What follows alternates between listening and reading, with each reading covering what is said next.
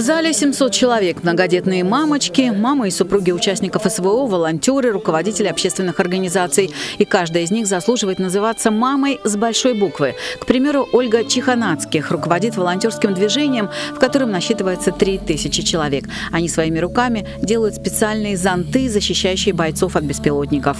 Быть матерью – это великое счастье.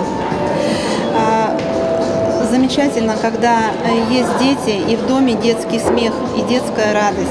И поэтому а, я желаю всем мамочкам, бабушкам а, большого здоровья. Здоровья для того, чтобы э, воспитывать детей, оказывать им в жизни какую-то помощь, поддержку. Мамы рядом в самых сложных ситуациях, всегда готовы помочь и советом, и делом. Доброе мамино слово согреет в любой жизненный холод. Мама – это все. Это слова главы города, который поздравил женщин с их праздником. От администрации города, от депутатов Барнаульской городской думы, на правах главы города, от всех мужчин города Барнаула, от всей души поздравляю вас с этим праздником. Желаю вам крепкого здоровья, счастья, так держать.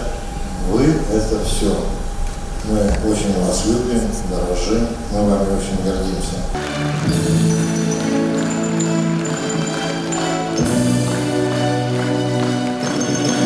Для мам в этот вечер были и самые красивые цветы, и самые трогательные песни и стихи. Творческие коллективы города подготовили лучшие танцевальные номера для всех мамочек Барнаула, в том числе и для своих мам.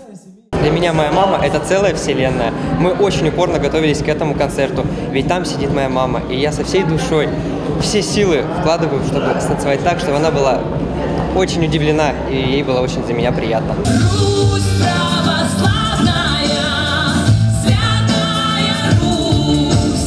Многие выступавшие подчеркивали, что сейчас мамой быть особенно нелегко. Матерям, чьи дети исполняют свой воинский долг, желали, чтобы их любимые и сыновья вернулись домой, а также мирного неба над головой.